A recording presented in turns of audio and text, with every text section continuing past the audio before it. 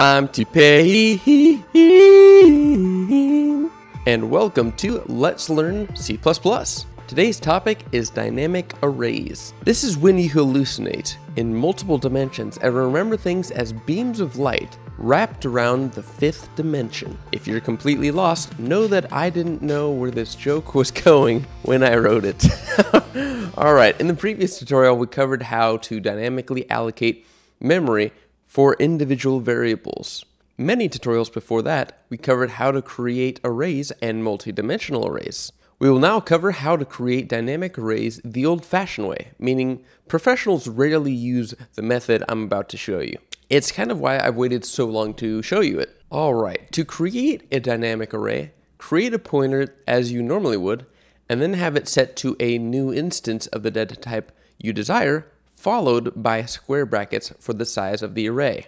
Note that previously we would use parentheses to enclose a singular instance value, but for an array we use square brackets to designate the size of the array.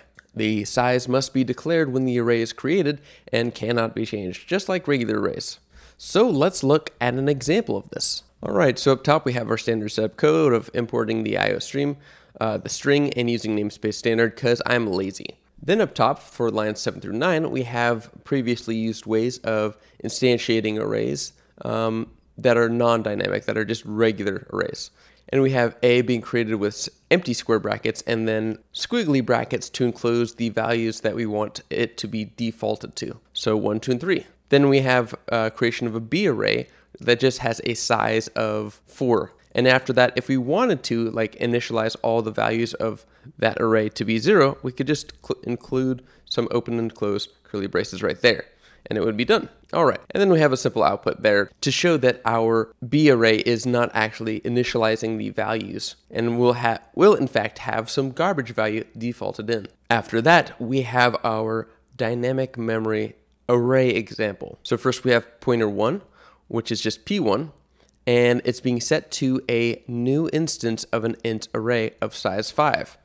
And this will work just fine. If we wanted to initialize the values to 0, we could simply open and close regular parentheses with no values inside and it'll default to 0. Now we have pointer 2 set equal to uh, an empty set of square braces, so the array size is not being declared, and instead what we're trying to pass in is curly braces enclosed with 1, 2, and 3. This will cause an error. This will not actually work. I wanted to show you this because up above we use it to create a regular array, but it will not work for dynamic arrays. So if we go ahead and set a breakpoint here and try to run our code, it will not actually work and cause build errors. Okay, so we can just go ahead and delete the curly brace code here and add in some value if we wanted it to work and then run it and now it'll start to work just fine.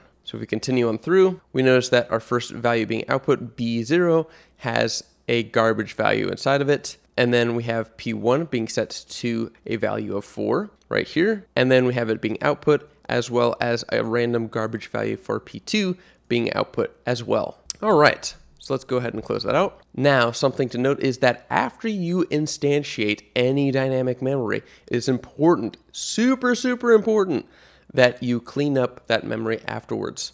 So basically, anytime you use this new keyword somewhere later in the program, you should have a delete open and close square brackets for the deletion of a dynamic array. If it's just a regular new value, then you don't need those square braces. But because we're working with arrays, this makes sense. And all we're doing is cleaning up the memory. Perfect. And then finally, we just have our get line to stop the program before it closes. All right, so a question you may be asking yourself at this point is, what if I want a variable the user inputs to determine the size of an array?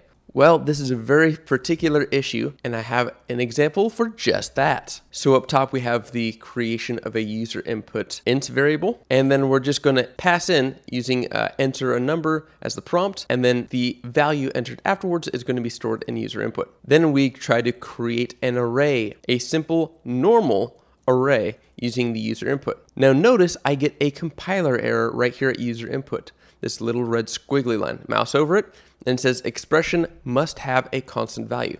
Now you may, may be thinking to yourself, well, we could just use a const as we did before. So we can convert this user input to a constant right here, and that should work as well, right? So let's go ahead and copy in the value, And now if we mouse over that, no, it still is not satisfied. That is because regular arrays size must be determined at compile time. It cannot be determined at runtime like we were asking it. Runtime being when the user inputs the value and the program is running. So this expression does not work at all. However, what we could do instead is use dynamic memory to solve this problem. All right, so I'm just gonna go ahead and delete those top two lines.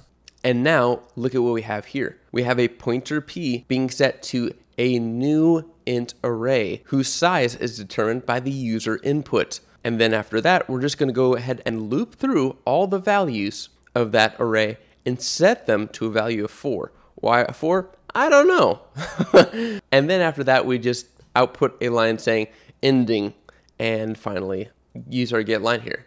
Now something weird is going to happen here. Watch what happens when I run the program, I'm going to input a value 5 right here. Enter, and says ending, and the program closes out. Now, ordinarily, what would happen is our string y and then get line would actually stop the program from closing out.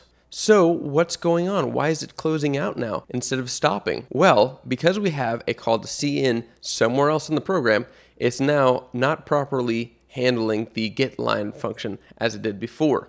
So instead, what we could do is we'll just replace this get line with just a regular cin with a variable y and it'll work just as before. Now we can enter in a value of 5 as before and then it'll say ending and the prompt will not close and instead we can just press enter again or we have to actually enter a value and, and then it'll close out. So one of the weird quirks of cin is that you actually have to put in some value for it to be satisfied. You can't just press the enter key. All right, so that's it for part one of dynamic arrays. In the next tutorial, I will cover how to incorporate dynamic arrays into functions and creating multi-dimensional arrays. All right, you are doing fantastic keeping up. I'd highly recommend challenging your skills at hackerrank.com. Please support me on Patreon if this helped you, and thank you to my Patreon supporters, Marcus G, JK, and as always, like, subscribe, and keep the dream alive.